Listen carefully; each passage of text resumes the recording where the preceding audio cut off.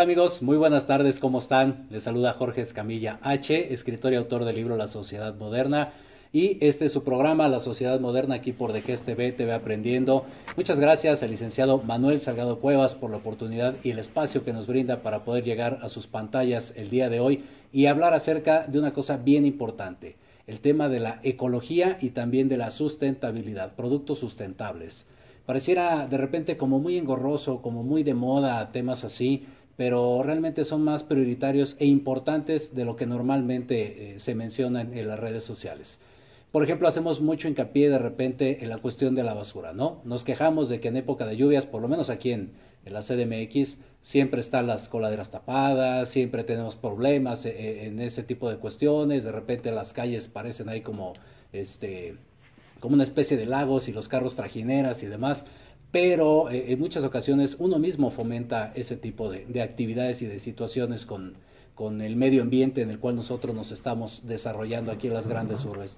Y eh, precisamente por eso es de que hoy tenemos un par de, invitados que nos van a ayudar muchísimo a comprender un poquito más acerca de este concepto de ecología y de productos sustentables. Así que entonces vamos a abrir cámaras y micrófonos para recibir a nuestros invitados. Ellos son de Arropa, ellos son Dante y Arnaldo. Muy buenas tardes muchachos, ¿cómo están? Hola Jorge, buenas tardes, mucho gusto. Gracias por el espacio. Un gustazo que estén el día de hoy por aquí y sobre todo que nos ayuden a, explicar todo este tipo de dudas que tenemos respecto a la ecología. Muchas veces pareciera como temas de moda, ¿no? Nada más como algo viral que de repente se va soltando por ahí, pero no hay acciones. Todo el mundo habla de eso, pero nadie hace nada. En el caso de ustedes entiendo que traen una iniciativa bastante buena con esa intención de fomentar actividades en pro del medio ambiente y en pro de la ecología, ¿no? Claro, bueno, repito, muchas gracias por el espacio. Eh, un saludo a todos los que nos ven. Sí, nosotros eh, representamos la marca Ropa, lo que hacemos es crear playeras y productos sustentables, principalmente a base de PET y algodón reciclado también, ambos eh, productos sustentables. Sustentables en el sentido que ya tuvieron un uso y que nosotros los tomamos y les damos una segunda vida, ¿no? Y los hacemos un producto amigable con el medio ambiente y que a su vez eh, el objetivo de esto es reforestar. Por cada playera eh, que nosotros vendemos o producto que nosotros vendemos, sembramos 10 árboles. Padrísimo. Fíjate que eso está bastante bueno. Y tomando como ejemplo el, tema de lo de la basura que, platicaba al, comienzo. Muchas veces la gente dice, ay, es que el gobierno, y ay, es que no sé qué. Pero hay acciones que uno mismo puede hacer desde casa que no necesariamente las, las ejemplificamos y entonces pues vienen las quejas, ¿no? Este es uno de la basura. No sé, otro pudiera ser el, tema de, los carros, por ejemplo, que es muy habitual. Entonces, no sé qué eh, sugerencias, qué opciones, por ejemplo, este, Arnaldo, que has tenido la oportunidad, por cierto, de, de, andar ahí divagando en diferentes países alrededor del mundo, ¿qué cosa ves que tiene México que otros países no? O que pudiera ser en pro de, la, de la cultura y de la, del medio ambiente en este caso. Eh, te, refieres que como iniciativas que estén sucediendo? Exactamente. Bueno, el hecho de que se cae implementar, por ejemplo, una, una normativa para que la basura sea botada, digamos, separada de acuerdo a su origen, es, ya un, es ya un primer paso, ¿no? O sea, hay países en el mundo donde esto ya se viene haciendo desde hace muchos años, pero hay países donde todavía no se ha tomado ni siquiera, o sea, pasos para empezar a a operar de esta manera. Al menos acá ya se implementó esto y se ve que hay, hay distintas iniciativas que están empezando a suceder. Aunque yo creo que el, el, cambio real viene como desde la casa, ¿no? o, sea, o sea, que esas pequeñas acciones que hacemos cada día, si las sumamos a lo largo del tiempo, entonces nos damos cuenta de que son acciones que tienen un impacto como mucho mayor, ¿no? Entonces, por eso esas pequeñas acciones del día a día, como, bueno, botar la basura separada, que ahora tienes que hacerlo obligatoriamente, ¿no? Exactamente. Pero eh, de repente sí, o sea, reutilizar envases de vidrio en vez de, comprar envases plásticos, cosas de ese, tipo que con el tiempo se van, o sea, van, van incrementando en, impacto, ¿no? Y ahorita que dices, por ejemplo, el tema de los envases, ahí es donde, donde entra la, diagonal con ustedes, ¿no? La cuestión de la ropa, de, de, ocupar bien los recursos, quitar el, el tema este de los plásticos, por ejemplo, de un solo Siempre decíamos lo del famoso popote. A mí realmente soy antifan de, del popote. Se me hace un desperdicio completamente su, su uso. Porque uno te lo ponen en un vaso. Entonces, para empezar, ya tienes de dónde tomar. Pues ¿no? tomar, claro. Y, y, luego que te pongan ahí el popote. Lo utilizas cinco minutos, va a la calle o bueno, Sí. va a la basura y luego va al mar y ya todos hemos visto. Esas sí son cosas virales. Sí, claro, La, la cuestión tortuga. esta, las tortugas, el mar y todo eso. Sí. Son cosas que, que deberían de servir para, para concientizar, ¿no? Claro.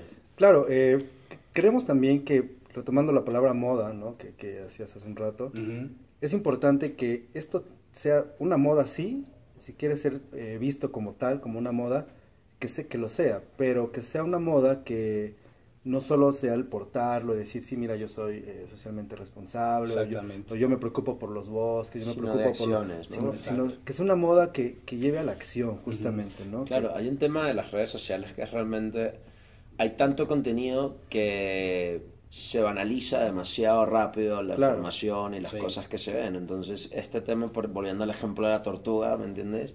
Pues claro, lo ves una vez, pero luego lo ves tres, lo ves cinco, ya se vuelve un chiste y ya a los tres días desaparece y ya estamos hablando de cómo se cayó no sé quién o de cualquier otra cosa. Exacto. Entonces, como contenido que es- tiene suma importancia, eh, se ve inmerso en este mar como de banalidades donde realmente no hay una jerarquía entre las cosas que tienen una importancia real para el entorno Exacto. o para la sociedad, sino que simplemente están todos como en un mar muy homogéneo de contenido vacío. Claro, y espacios como este, por ejemplo, en el que jóvenes, ¿no? padres de familia nos ven, eh, instituciones académicas eh, y muchos otros más, es importante porque justo es un espacio en el que se comparten cosas eh, de una forma bastante amigable, Ujú, pero ujú. serias, ¿no? Exactamente. Entonces, creemos que, que, que sí se puede hacer una transformación, incluso desde la palabra retomar otra vez, ¿no? Moda, pero con seriedad, con acción, y que deje de pensarse eso que pasa 10 No, si veces se y logra- se... Claro, si se logra convertir en una moda es como el ideal, ¿me entiendes? Claro. o sea, si Sí, lo logras sí. convertir Claro. en una moda sería fenomenal.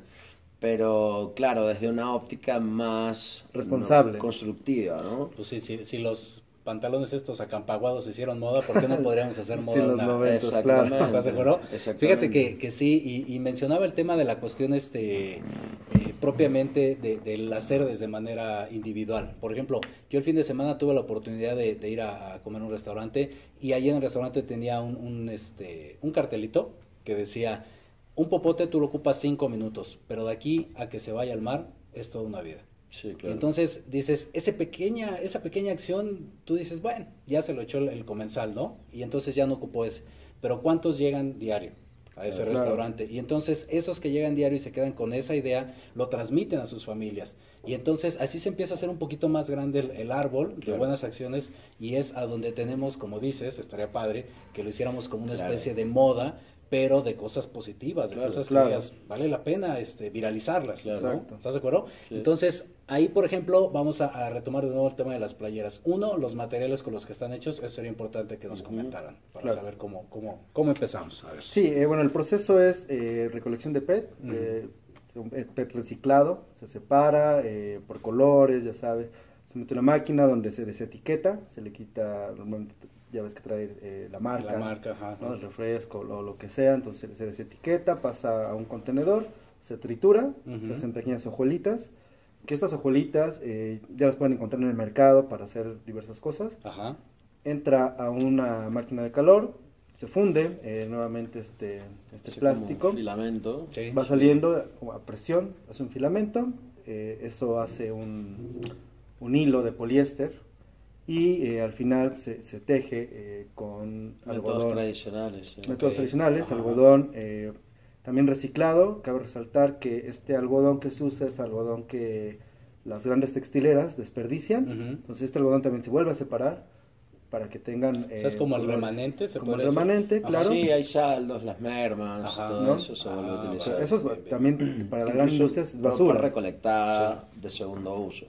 Sí, porque muchas veces lo que hacen, no, pues me sobra esto, bueno, muchas gracias, y nos Claro, vemos, pues, ¿no? es Sí, claro, basura. hay que- Exacto. Entonces, Pero eh, se le puede dar un, un segundo uso, entonces se vuelve a unir ese, ese hilo, se Ujú. teje en conjunto con el hilo de poliéster y bueno, pues dan, dan playeras, que por ahora son eh, playeras, pero próximamente vamos a tener gorras, Ujú. este, pants, otros productos, Bolsos. bolsos. Ah. ¿no? Eso está bueno, fíjate. Y, y sabes que es importante también recalcar el tema de, de- del valor que puede generar el, el usar este tipo de, de prendas, ¿no? Claro, es importante porque, por ejemplo, hoy en día la moda como que se mueve sumamente rápido, ¿no? Entonces, realmente los productos que consumimos eh, los consumimos por un periodo, periodo de tiempo sumamente corto. Exacto. Mientras nuestra intención detrás de este tipo de, de, de, productos es como que, que las personas generen de alguna manera una relación un poco más emocional con el producto, sí, sí, porque el mismo hecho de que se han plantado 10 árboles gracias a esa camiseta y tú la compraste bajo esa premisa, entonces la idea es un poco que sean productos que tengan un tiempo de vida más largo, ¿no? O sea, que pasen más tiempo en tu armario que el tiempo que van a pasar en la basura, sí, ¿no? Sí, sí, es cierto. Sí, y además que eh, es bien sabido por todos que esta nueva ropa, o la, bueno, la ropa de las grandes cadenas eh, textileras son moda basura, le dicen, ¿no? las playeras eh, que cuestan 150 pesos tal vez, pero te las pones tres, cuatro veces y y se vuelve basura, ¿no? Ya se rompe, se destiñe, entonces lo No, simplemente salió una nueva, ¿me entiendes? O sale una, nueva, y ya está vieja, y ya es obsoleta, y ya no te ves como se ve el resto de la gente, ¿no? Exactamente. Sí, eso sí es cierto. Y muchas veces, fíjate que nos vamos por el tema del precio. Me parece que eso, y es una realidad, o sea, en México no siempre todos tenemos como el presupuesto para, para tener lo que uno quisiera, ¿no? Pero eh, eh eso, me gustaría, fíjate, hacer una, una, pequeña pausa y regresar con el tema de, los precios, mostrar la playera para que también le echen un vistazo a la gente que nos está viendo y demás. Entonces, vamos a hacer una pequeña pausa, vamos a despedir la transmisión de Facebook Live para que estén al pendientes de la transmisión completa aquí en The Gest Educativa, para que entren a las redes sociales y próximamente también en YouTube para que vean literalmente cómo nos ponemos la playera de nuestros amigos de ropa. Así que vamos un pequeño corte a la sociedad moderna y regresamos.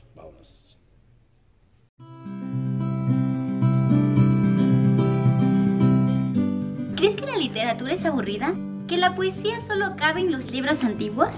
Ven conmigo a descubrir que también puede ser muy emocionante y divertido. No te pierdas el programa Escribe, Crea, Aprende, en donde vas a descubrir cientos de herramientas para despertar todo tu potencial creativo. No te lo pierdas todos los martes cada 15 días a través de The Gest TV a las 12 del día con Susana Argueta y Niña Palabra.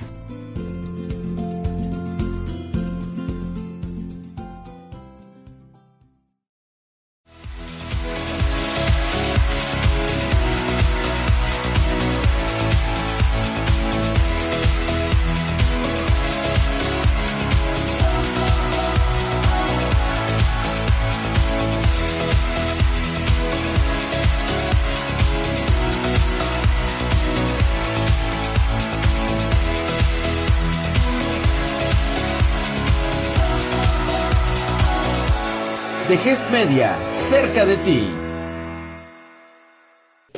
Listo amigos, pues ya estamos de regreso aquí en la sociedad moderna y seguimos con, nuestros amigos de Arropa, ya me ando ahí eh, trabando. Este, y vamos a platicar precisamente la cuestión de la playera. Ahorita la vamos a mostrar para, para la gente que sigue aquí la, la transmisión. Es muy importante, lo comentamos antes del corte, el tema del presupuesto. ¿no? De repente muchos quisiéramos traer como la mejor tela, la mejor ropa, y fíjate que no tanto en cuestión de moda, sino nada más algo, como dice la moda, que la acomoda, ¿no? Entonces, nada más algo que te guste y que esté dentro del presupuesto. Y me parece que esta es una opción que no es eh, definitivamente cara.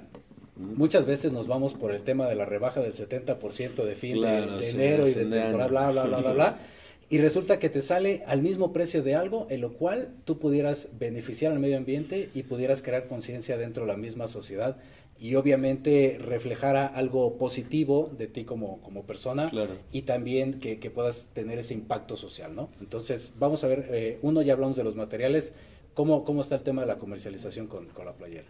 Claro, eh, bueno, la playera tiene un precio de 379, eh, parece un poco cara, ¿no? En contraste contra otras prendas que son del mismo estilo, ¿no? Pero nuestro objetivo no solo es vender playeras, ¿no? lo que nosotros queremos hacer es reforestar los bosques de, México, eh, en, principio, nos gustaría hacerlo en muchas otras partes, pero por ahora en nuestro país nos hace mucha falta tener estos espacios verdes que no solo ayudan al medio ambiente y a los árboles, sino que son espacios en los que las familias, en los que los amigos, ¿no? uno mismo eh, eh, como persona, va y se sienta abajo de un árbol y, de campo, literalmente. y te la pasas ah. tranquilo, ¿no? O sea, es un, es, un incremento en la calidad de vida de como seres humanos, ¿no? Tener bosques. Entonces, lo que nosotros queremos hacer con estas playeras no solo es vender ropa, ¿no? Sino, como decía Arnaldo en un principio, generar valor, crear una tendencia positiva respecto a lo que usamos, a lo que consumimos, pero también hacer un impacto directo a, los bosques, ¿no? Un, beneficio tangible, un beneficio eh, directo a, los, a, los bosques. Eh, por cada playera que ustedes adquieran o por, cada playera que nosotros eh, vendemos, estamos sembrando 10 árboles. Okay. Los árboles están foliados, aprobados por la, la Secretaría de Desarrollo Agrícola y la CDA, que está, por ejemplo, ahora estamos en Querétaro los árboles están foliados, se te entrega un folio a ti por cada playera que compres. Es, ¿no? un ah, certificado de la jornada. Eh, lo compartimos, por supuesto, en todas nuestras redes sociales, como un actor, como un individuo, como una persona incluso, como una empresa también, ¿no? Eh, tenemos programas en los que invitamos a distintas organizaciones a que se sumen a ser eh, parte de, la jornada. de las jornadas de reforestación. Fíjate que sí, eso, eso es bien importante, porque la influencia que pueda tener una empresa, híjole, es increíble, independientemente del segmento. Por ejemplo, no sé, la otra vez estaba viendo un reportaje precisamente del Real Madrid y del Manchester United, si no me equivoco, donde ya tienen playeras que utilizan este tipo de tecnología. Entonces, imagínate, el que tú veas a Cristiano Ronaldo, que veas a Wayne Rooney, a quien tú quieras, que utiliza una playera de esas, la, influencia que tiene para las nuevas generaciones y para los que no somos tan nuevos, este, fans del fútbol, pues obviamente dices, no, pues voy a, voy a juntar mi lanita, aunque me cueste, pero mira, yo traigo la de Rooney, yo traigo la de claro, Entonces, eso aquí en México podemos trasladarlo, ¿no? Sí, claro, lo ideal es siempre como contar con, como con líderes de opinión, ¿no? Con, con personas que tengan gran influencia sobre la sociedad para que sean embajadores, ¿no? O sea, que de alguna manera por lo mismo que comentas, o sea, hay un tema que la gente los ve como un referente, entonces si tú puedes hacer que la referencia o, que el impacto que ellos están generando vaya dirigido hacia temas de sostenibilidad, hacia temas de cuidado del medio ambiente, cuidado de las, de las especies. Entonces es más probable que la, que la ciudadanía o que la sociedad se sume a esa iniciativa. ¿no? Igualmente, o sea, no solo personas, ¿me entiendes? También hay marcas y hay empresas que tienen esa, como ese rol, ¿no? De, influenciadores de la sociedad. Entonces, justamente lo que buscamos es buscar, o sea, aliarnos con marcas que tengan este nivel de presencia, justamente para con ellos realizar estas jornadas de, reforestación, lo que pueda hacer para ellos un impacto positivo a nivel de responsabilidad social, pero para nosotros que genere que más personas se quieran involucrar dentro de, este movimiento. Exactamente. ¿Y sabes por qué? Me parece que ahorita está como muy de moda el tema de las empresas socialmente responsables, ¿no? Entonces, es un programa en el cual eh, es bastante bueno con esa intención de, motivar a, los trabajadores, a los jefes, a todos los que forman parte de ese núcleo y decirles, ¿sabes qué? Esta es una campaña que me parece que puede ser buena, que nos puede eh, funcionar para volverte una especie, sí, como de influencia, para ganar, sí, claro, para ganar puntos verdes. De algún corporativo, es correcto. Entonces, eso estaría muy bien, digo, no sé, paso uno, saber sus datos para la gente que les interese, este, redes sociales y demás, para la parte de los corporativos, y saber si pueden dar, alguna especie de cursos, de, diplomados, no sé, cómo está la onda ahí con ustedes. Sí, eh, bueno, retomando lo del principio, eh, ser empresa socialmente responsable no es solo tener, el, tener el, sello, ¿no? Hay que hacerlo. Entonces, nosotros los invitamos a que, nos busquen. Eh, nuestras redes sociales son arropa.mx en Facebook, arropa.mx en Instagram también. Eh, nuestro correo electrónico es arropa, eh, arroba ecotec-medio la.com. Ahí nos pueden pedir informes. Mi nombre es Dante, nos pueden encontrar en las redes sociales muy, muy rápido o a través de, de Jorge. lo que decía, entonces, no solo es decirlo, sino hay que hacerlo, ¿no? Y no solo las empresas, sino también uno como persona. O sea, creemos que el cambio o, las empresas, lo que nos ofrecen, es de acuerdo a lo que también las personas están reclamando, ¿no? si, en México empezamos a, aportar como distintivo el ser un individuo responsable con el medio ambiente, nos van a tener que ofrecer productos responsables con el medio ambiente, porque de esa, si no, eh, no, vamos a avanzar, ¿no? O sea, como digo, como empresas. Y como sociedad, pues el avance tiene que ser inminente. Sí, definitivamente el tipo de contenidos, vamos a decirlo de manera viral, ¿no? Que se hace en las redes sociales, es en base a lo que la gente exige. Exactamente. pides entretenimiento que tienes ahí, entonces al influencer tal y tienes al youtuber tal, que andan haciendo puras graciosadas, ¿no? Claro. Si la, si la gente o la sociedad exigiera contenido cultural, entonces esos cuates tendrían su público, pero también habría otras opciones que entonces hay gente interesada en eso. Claro, de hecho las marcas eh, el contenido que generan para redes sociales en la, ahora mismo no necesariamente ni siquiera está ligado a la marca, sino que está ligado más a fenómenos sociales que se dan dentro de las redes sociales. Exactamente. Entonces, si de alguna manera eh, se empiezan a generar movimientos a nivel de la gente dentro de estas plataformas que tenemos hoy en día de intercambio de información, entonces, sin lugar a duda, las marcas y las empresas van a empezar a tomar iniciativas y a generar contenido de, ligado a la sostenibilidad porque es lo que la gente está generando. Es correcto. ¿no? Entonces, lo primero es como crear conciencia ¿no? en esta gente sobre, sobre los temas de, medio ambiente, ¿no? para que más gente se empiece a involucrar y por ende las marcas y las empresas empiecen a generar soluciones empiecen a generar productos que estén alineados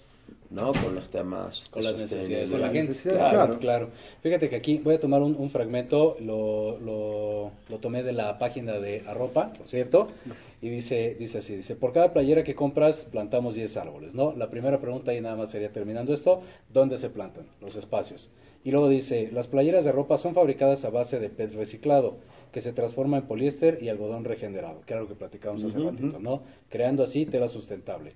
Cada playera es ilustrada con diseños exclusivos hechos por artistas mexicanos, lo cual, insisto, fomentamos el tema del emprendimiento, lo podemos llegar ahí también.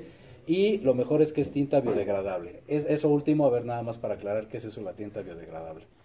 Bueno, son pigmentos que son de base natural y por ende en un periodo de tiempo probablemente posterior a tu uso, van a, integrarse de nuevo al, al, al, medio ambiente sin crear un impacto negativo, ¿no? Sí, no son esas cosas que tardan 100 años ahí. Claro, que se desaparece el pol, la camiseta, pero sigue quedando el, dibujo, ¿no? el pigmento pinta la tierra, ah, ¿no? no, justamente, claro, para evitar eso. O sea, no creo que, obviamente, si hacemos un emprendimiento como este que está enfocado en sostenibilidad, pues todos los ejes no tienen que estar alineados, ¿no? Tienen que ser congruentes. Debe, debe haber coherencia lo que dices con lo claro, que exactamente. completamente de acuerdo.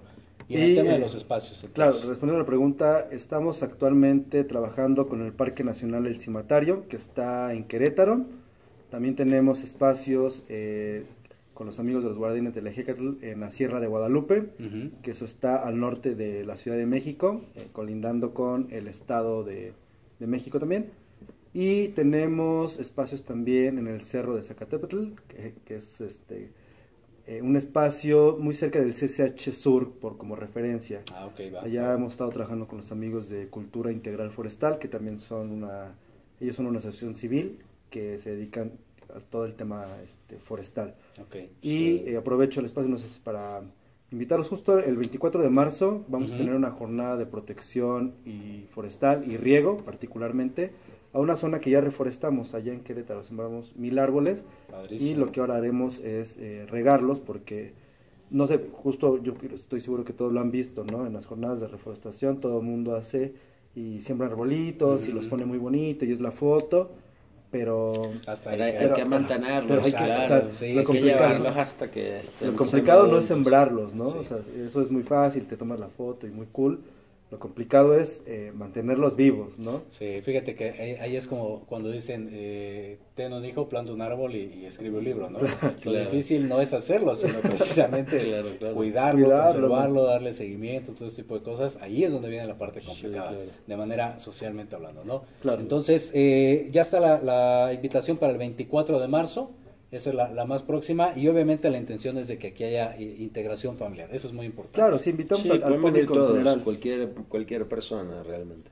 O sea, pueden interactuar los chicos de la generación Z, de las secundarias técnicas, hacemos una invitación. Si gusta también, yo creo que pudieran ir a platicar con, los chicos acerca de este tema, las escuelas. De cualquier escuela que quiera formar parte, que se quiera involucrar, nos contactan a través de las redes o en nuestra página web y buscamos la manera, ¿no? De hacer alguna iniciativa conjunta. Exactamente. Mismo caso para las empresas, ¿no? Se, Mismo se pongan el uniforme ahí. Claro, que se pongan su camiseta y juntos vayamos, ¿no? A, salvar los bosques que nos quedan, que son cada vez menos. Tristemente, sí, sí, sí. Muy bien, pues ya está, chicos. ¿Algo más que quieran agregar? Pues nada, Jorge, eh, regalarte esta playera. Esperemos que te guste. Es una playera hecha con mucho cariño, eh, productos sustentables. Y pues nada, eso, visítenos en las redes sociales, sigan eh, lo que hacemos y nuestros contenidos. Ok, vamos este, en lo que repite las redes sociales, me lo voy a poner para que... Sí, eh, las redes es, en Facebook nos encuentran como arropa.mx, en Instagram también, arropa.mx, o bien eh, nos pueden escribir a nuestro correo electrónico que es arropa-medio ecotec eh, la.com. arroba ecotec-medio Muy bien. Por eso decía que es más fácil el tema de las redes sociales. por ahí lo ligamos más rápido. Muy bien, chicos, pues muchas gracias. Vamos a ver que efectivamente este tipo de prendas, como muchos dicen, no dan rasquiña, no dan nada de eso. Al contrario, digo, ahorita nos queda apretada porque tenemos lo trabajo. No tenemos ninguna queja todavía. No, somos como, como buen molde ahorita. o sea, sí las, las lavamos antes de reciclarlas, las botellas. Muy bien, está bien, con eso. pues ya está, chicos, muchas gracias. Gracias a ti, Qué bueno que pudieron darse el espacio. Y pues bueno, no nos queda más que despedirnos en este caso, agradecer a todos y cada uno de ustedes, los interesados, ya vieron aquí estamos literal poniendo la playera en pro del medio ambiente. Obviamente agradecer también al licenciado Manuel Salgado Cuevas por la oportunidad y el espacio que nos brinda para platicar aquí el día de hoy con ustedes en la Sociedad Moderna. Los invitamos también a que lean el libro La Sociedad Moderna, que estamos estrenando el banner, que tiene que ver con el tema de, del libro. 22 cuentos con la intención de crear conciencia y de saber de diferentes generaciones. Pueden adquirirlo a través de las librerías del sótano, el péndulo, el Fondo de Cultura Económica, Voces en Tinte, Donceles 86 y para el interior de la República, si es que no tuvieran alguna librería de estas cercas, pueden hacerlo a través de www.jorgescamillah.com y ahí con gusto se los enviamos a domicilio y autografiado y toda la cosa. Así que no me queda más que despedirme. Recuerden que esto es la sociedad moderna donde siempre buscamos ciudadanos con cualidades y experiencias extraordinarias. Nos vemos y saludamos la próxima semana. Vámonos.